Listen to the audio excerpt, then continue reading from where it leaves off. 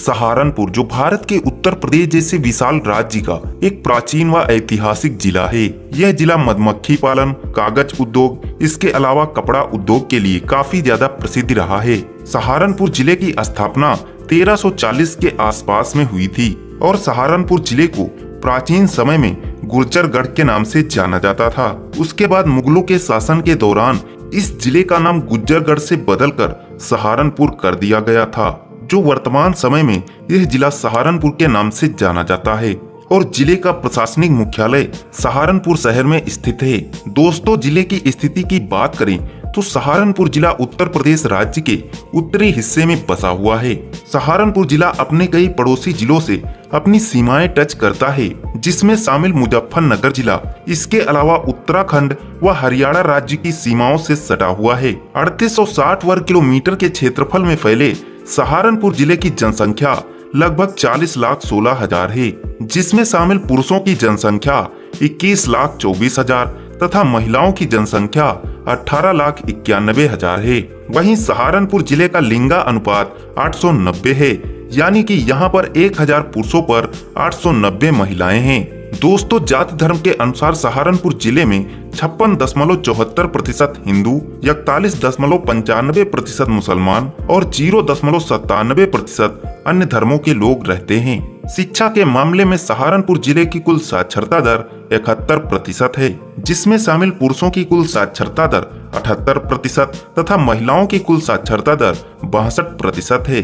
D V Jain college, Maharaj Singh degree college जैसे अन्य कई शिक्षण संस्थान सहारनपुर ज़िले में मौजूद हैं। प्रशासनिक दृष्टिकोण से सहारनपुर ज़िले में कुल पाँच तहसीलें मौजूद हैं, जो इस प्रकार हैं सहारनपुर, बेहट, नकुंड, देवबंद और रामपुर मनिहारन हैं। ज़िले में 11 ब्लॉक और 22 पुलिस स्टेशन मौजूद हैं।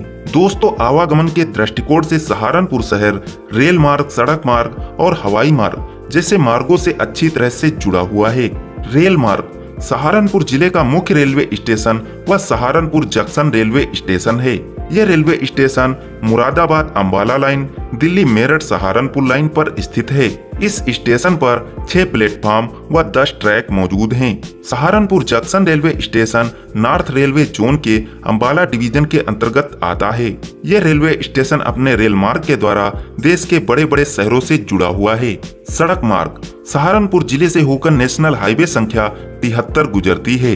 जो आगे चलकर हरियाणा राज्य से जोड़ती है। इसके अलावा सहारनपुर ज़िले में मौजूद रोडवेज़ बस अड्डा, जहाँ से दिल्ली, लखनऊ और कानपुर जैसे शहरों को नियमित रूप से बसों को संचालित किया जाता है। हवाई मार्ग सहारनपुर ज़िले का मुख्य हवाई अड्डा व सरसवा हवाई अड्डा है, जो कि यह हवाई अड्डा सहारनपुर शहर से 20 किलोमीटर की दूरी पर स्थित है। दोस्तों, सहारनपुर जिला अपने खूबसूरत पर्यटन स्थलों के लिए काफ़ी ज़्यादा प्रसिद्ध रहा है। तो आइए दोस्तों, इन खूबसूरत पर्यटन स्थलों से रूबरू करवाते हैं। हथनी कुंड बैराज, ये खूबसूरत बैराज यमुना नदी के किनारे पर बना एक प्रकार का बाँध है, जहाँ पर चारों तरफ़ सौंदर्य वातावरण देखने को मिलता है। जो कि हरियाली से भरा हुआ है। यह बाँध हरियाणा और उत्तर प्रदेश की सीमा पर स्थित है, जो कि सहारनपुर ज़िले का प्रमुख पिकनिक स्पॉट है। दारुल उलूम सहारनपुर। दारुल उलूम सहारनपुर का एक सुंदर स्थल है। यहाँ पर आपको बहुत ही सुंदर मस्जिद देखने को मिलती है। यह मस्जिद सफ़ेद मार्बल से बनी हुई है, जो देखने में बहुत ही आकर्षक लगती है। यह मस्जिद सहारनपुर में देवबंद नामक स्थान पर स्थित है।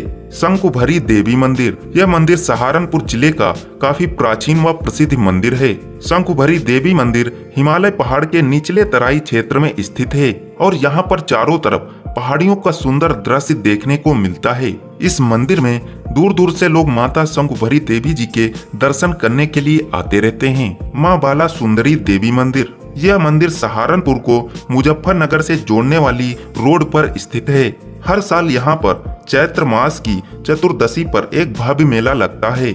मेले में भक्त माँ के दर्शन करने के लिए आते रहते हैं। दोस्तों, यदि आप सहारनपुर ज़िले को आ रहे हैं तो इन खूबसूरत पर्यटन स्थलों पर एक बार घूमने के लिए ज़रूर जाइएगा। दोस्तों, ये वीडियो आप लोगों को कैसा लगा, कमेंट में अपनी राय ज़रूर लिखें। मिलते हैं दोस्तों अगली वीडियो में। जय हिंद दोस्तों।